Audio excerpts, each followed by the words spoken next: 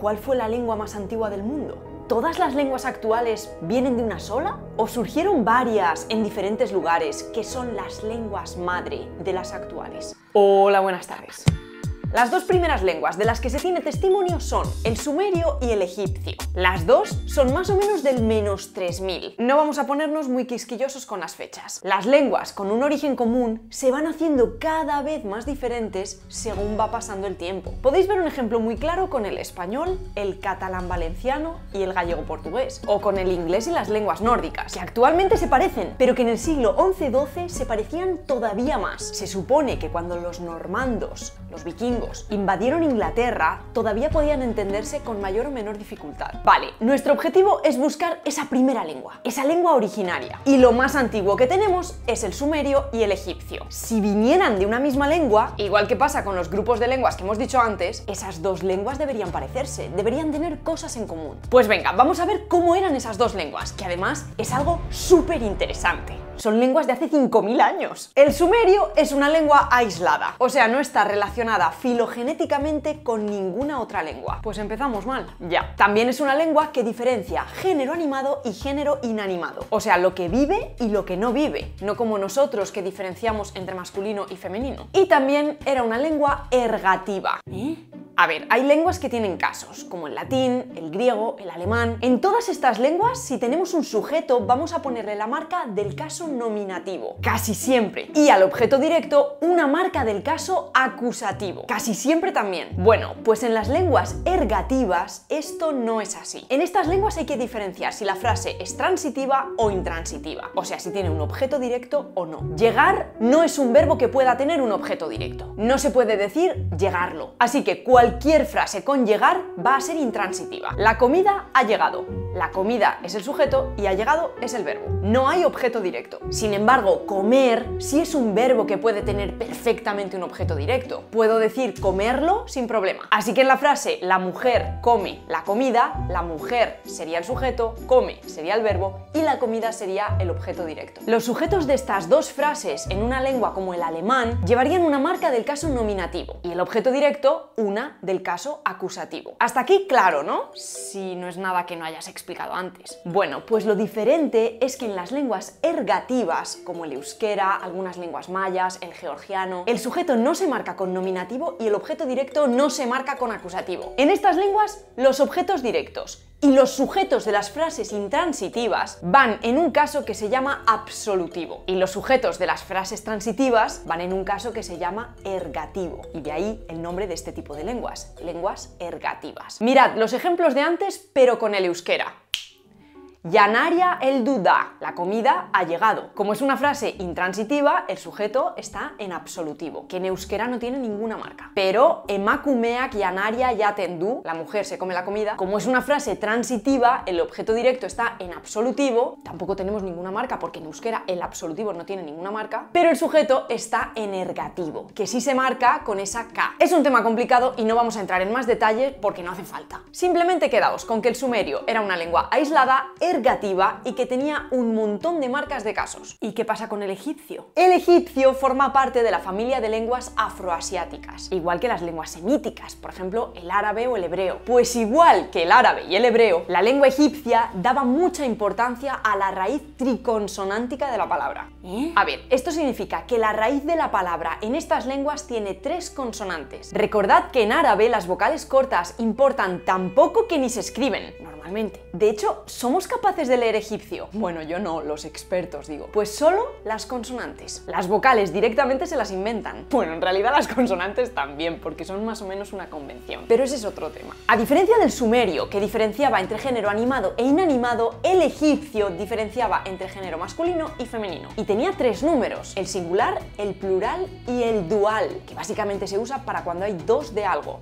No es uno, no son muchos, son dos. Ya hemos visto que el sumerio y el egipcio gramaticalmente son son bastante diferentes. ¿Y fonéticamente? Pues también. El egipcio tenía muchísimos más fonemas que el sumerio. Vamos, que podríamos decir que el euskera se parecería más al sumerio que el egipcio. Por eso de que las dos son lenguas ergativas solamente. Y el egipcio más al árabe actual. Y no estoy diciendo que se parezcan demasiado, ¿eh? Pero más que el sumerio y el egipcio, pues probablemente. O sea, que no vienen del mismo sitio, ¿no? Y eso significa que no hay una lengua original, sino varias. A ver, que el sumerio y el egipcio sean tan diferentes no significa que no puedan venir de una misma lengua. Pensad que desde los orígenes de las lenguas hasta el sumerio y el egipcio ha pasado más tiempo que desde el sumerio y el egipcio hasta la actualidad. Es súper guay hacer estas comparaciones cronológicas. ¿Sabéis que Cleopatra está más cerca del tiempo del iPhone que de las pirámides? Muy fuerte. O sea que esta comparación podría no significar nada y que ambas lenguas tuvieran efectivamente un antepasado común. Solo que hace tanto tiempo que para el punto en el que nos han llegado ya estaban súper diferenciadas. Pues sí, podría ser,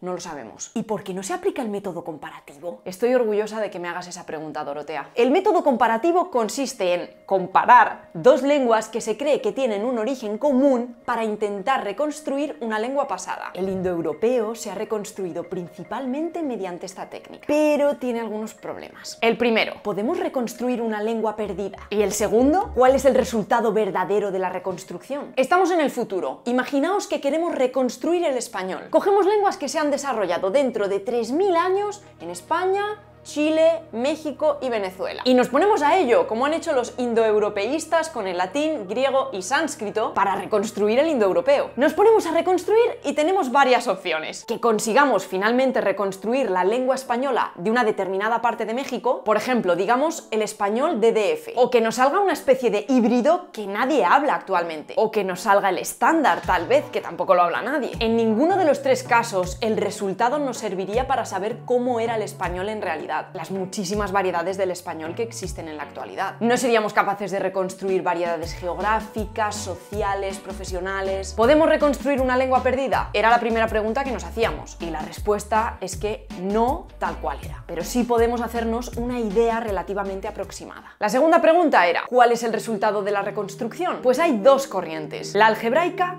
y la realista. La algebraica cuenta con abstracciones. Tenemos una palabra que en latín empieza por S, en griego por H, una aspiración, y en sánscrito con SH. ¿Cuál era el sonido original? Un algebraico diría que X, o sea, la X que se usa en mates cuando no tienes ni idea de qué número es. No podemos saber cuál era, así que le asignamos una valencia, que se queda como incógnita y nada más. De hecho, cuando pongo en Instagram una palabra que viene del indoeuropeo y veis H1, H2, H3, esos son incógnitas, son esas X de matemáticas son consonantes laringales sobre las que no hay acuerdo de cómo se pronunciaban. Pero recordad que hay otra corriente, la realista. Y esta corriente sí cree que se puede saber cómo era una lengua. Con mucha investigación, los dos problemas que hemos tratado tienen solución. Y la lingüística histórica comparativa funciona bastante bien si aplicamos algunos principios. Existen algunas tendencias universales fonéticas que funcionan con regularidad y pueden aplicarse, como que las consonantes sordas tienden a contagiarse de sonidos que tienen al lado, las vocales, y a sonorizarse. Acordaos de cómo la mayoría de consonantes sordas latinas,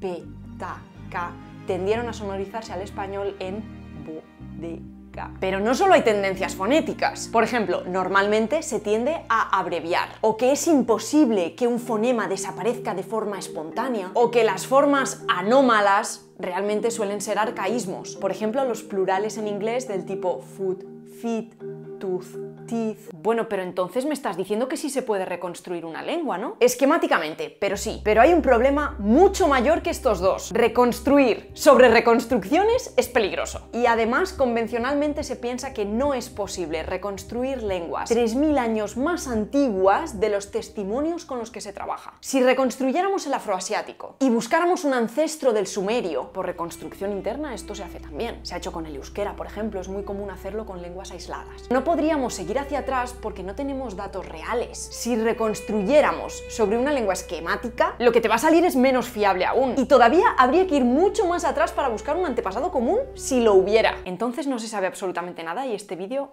es un simple clickbait. A ver, no, un poco sí. Aunque es muy difícil hacer predicciones en lingüística, sí hay algunas cosas en las que los especialistas están de acuerdo, o al menos en las que tienen un amplio consenso, como por ejemplo el cambio en la clasificación tipológica. Estás muy técnica hoy. A ver que te lo explico. Podemos agrupar todas las lenguas del mundo en tres grupos: aglutinantes, flexivas y aislantes, lo que significa que hubo tres lenguas originales de las que vienen todas las que hablamos actualmente, ¿no? Eh, no, no significa eso. Es más, es normal que las lenguas pasen de un grupo a otro. Que pasen de un grupo a otro. O sea, que un día sean aglutinantes, que no sé lo que es, y al día siguiente sean flexivas, que tampoco sé lo que es. No de un día a otro, estamos hablando de muchos siglos. O sea que esta información no nos diría que hubo tres lenguas inicialmente, ni que hubo una. Todavía no hemos llegado ahí, espérate. Y además, no solo hay lenguas aglutinantes, flexivas, aislantes, se han propuesto otras formas de agrupar las lenguas, como que sean polisintéticas o incorporantes, pero bueno, con los tres primeros grupos de los que os he hablado nos vale. Y no son grupos bien delimitados. Como siempre, hay muchos puntos intermedios y todas las lenguas suelen tener características de los tres grupos. Pero bueno, es una buena referencia para saber cómo funciona la generalidad de un idioma. Pero espera, yo no sé lo que es una lengua aglutinante, flexiva y aislante. Ah,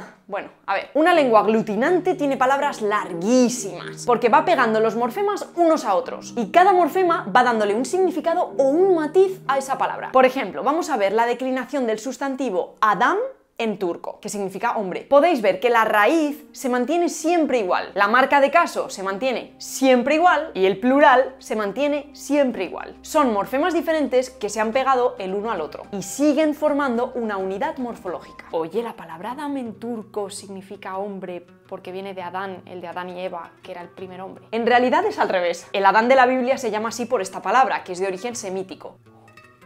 Bueno, hay lenguas aglutinantes en las que un morfema te puede decir hasta cómo te ha llegado una información. Es decir, si sabes algo porque lo has visto, porque lo has oído, porque te lo han contado. Y todo eso te lo cuenta una parte muy pequeñita de la palabra. Es guay, ¿no? Vamos a resumirlo en que en las aglutinantes los morfemas están todos juntos, pero no revueltos. ¿Y las flexivas? En las lenguas flexivas se hace más difícil diferenciar los morfemas. Por ejemplo, vamos con el ruso stol, que significa mesa. A diferencia del turco, en ruso no hay un claro morfema de casa ni de plural, sino que ambos aparecen juntos sin que se pueda diferenciar el uno del otro. Aquí los morfemas ya están juntos y revueltos. El español y el inglés también son lenguas flexivas, pero mucho menos que el ruso, por ejemplo. Vale, ¿y las aislantes? En esas lenguas, como el vietnamita o el chino, las palabras no cambian nunca. Mirad esta frase en vietnamita. Si la tradujéramos literalmente, significaría el llevar aquí casa yo 310 naranja. O sea, él trae a mi casa 30 naranjas. Aquí las palabras son unidades sin ninguna variación morfológica. Esas palabras son siempre iguales y así se quedan. Todo esto me parece apasionante, pero no te ha sido muchísimo del tema. Ni un poquito. Para responder a esa pregunta inicial de cuál fue la primera lengua, era muy importante entender todo esto. Entonces, ahora que lo entiendo, ¿cuál fue la primera lengua del mundo? Bueno, ahora que lo entiendes, sabrás que es difícil hacer predicciones pero sí que hay un consenso. Las lenguas evolucionan cíclicamente, es decir, pasan de ser aislantes a ser aglutinantes y después a ser flexivas